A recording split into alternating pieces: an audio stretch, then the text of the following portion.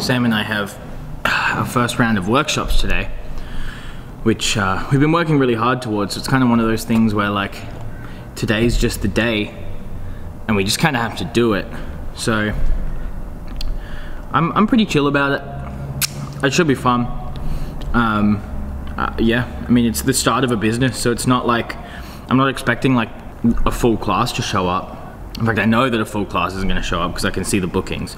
You know, it takes time to build things and, and I'm cool with that. I'm just gonna see what today brings and I'm excited about it. And I got this honey oat porridge thing from Coles, not sponsored. It looked kind of gross to be honest with you, but I forgot to have breakfast this morning. I'm not gonna lie to you, that kind of sucked. oh, hey buddy. Morning. I just had probably the worst porridge of my life.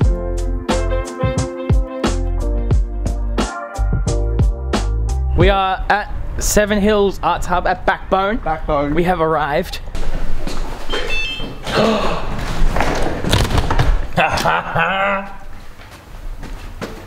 we made it inside. We got these sick little bleep loops. I was gonna, I was like, should I show these? But you can't get the information off them over the internet.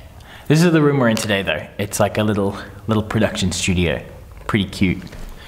So to keep you updated, today's workshops and the workshops running this weekend and next weekend are like half trial run, half marketing run. So we've given away a bunch of spots for this round just that we can try and get people in so that we can actually have people that we can shoot marketing material with.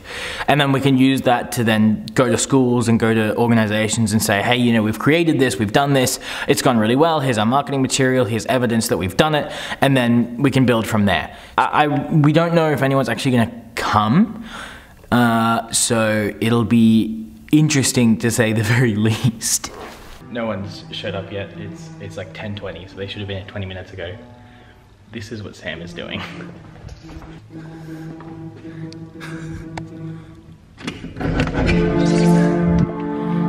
Is this your sad boy era?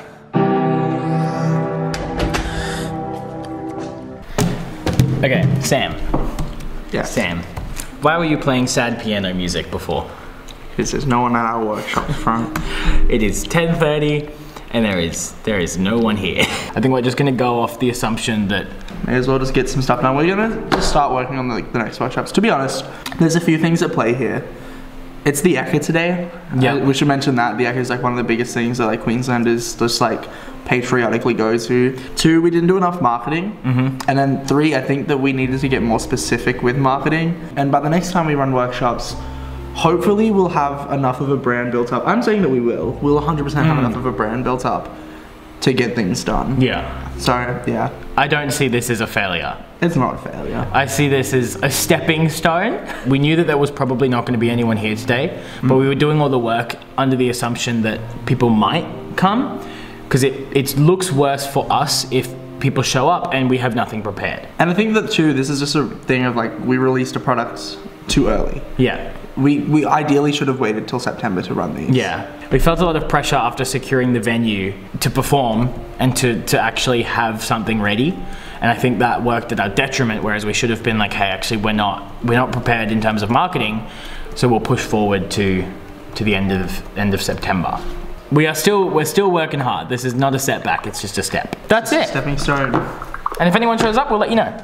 We're gonna pack up and go back to the office now because there's no point in us staying here. So bad. Let's get out of here. I'm back at the warehouse. Sam is leaving me. I need to get a little bit of editing done and then I'm gonna go do other stuff, but goodbye Sam. Bye, Frank. We're taking a rest day Well, uh, tomorrow, yeah? Yeah. Cool. I'll see you Thursday next week. Yes, you shall. See you. See Bye. you Thursday next week. That's Cheerio. closed. Oh, was that really really ruined my plans.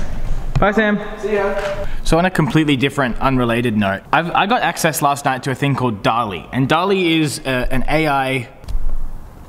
What is it? What, how do you even say it? Uh, uh, AI DALI DALI. Don't you do it? Don't do it. I need, think I need a new tripod. Okay, stay. Okay, so DALL-E is, I'm reading from the web- website directly.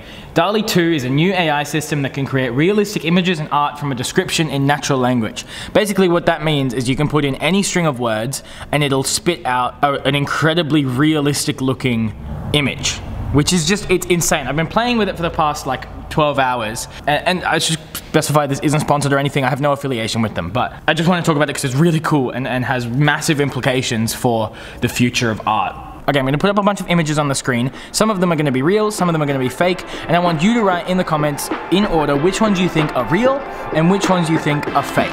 Okay? I'm gonna show you the images now.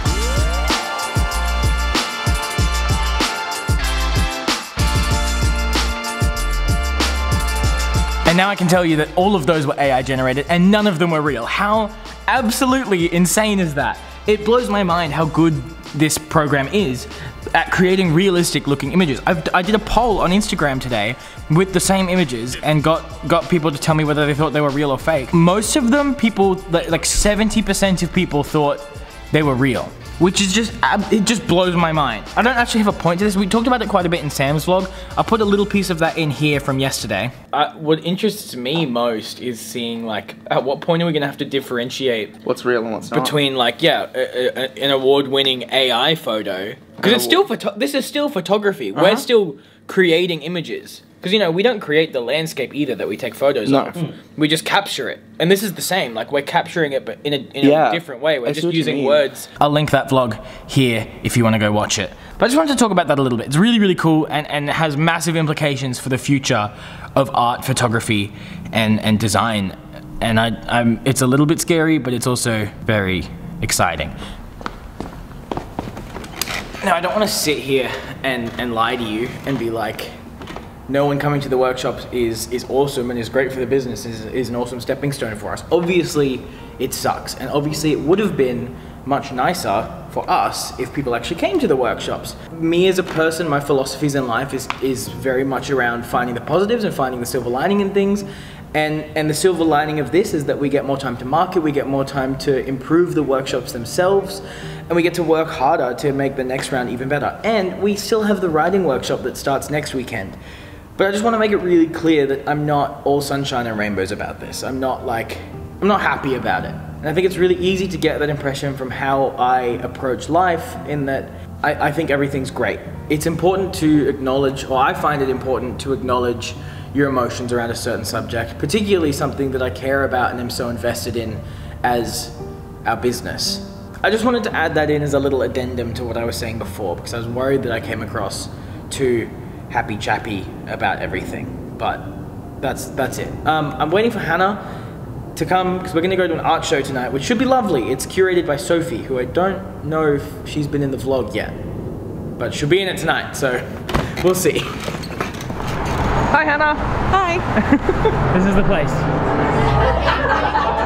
Hi, I'm Sophie Delaney. I'm the curator of Post Datum. I'm a practicing visual artist. I primarily focus on different theories and philosophies. Um, that's where my practice stands right now.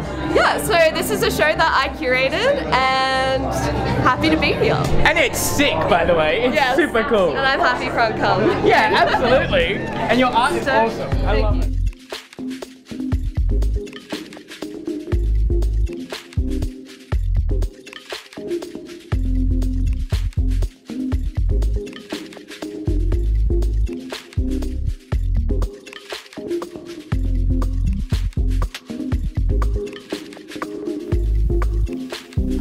What'd you get? Burger. Burger. I got two slices of pizza. This is a damn good burger. Yeah, they're good, right? Oh my god. Everything's better when you're hungry though. This is true. Okay, that's it. I'm ending the vlog here. Say bye, Hannah. Bye everyone. Nice to see you. Not that I did, but nice to see you. There you go. Okay, bye.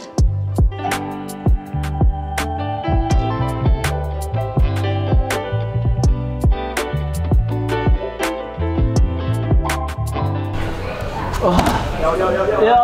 Whoa! Nice. Just because he put it on camera. Yeah.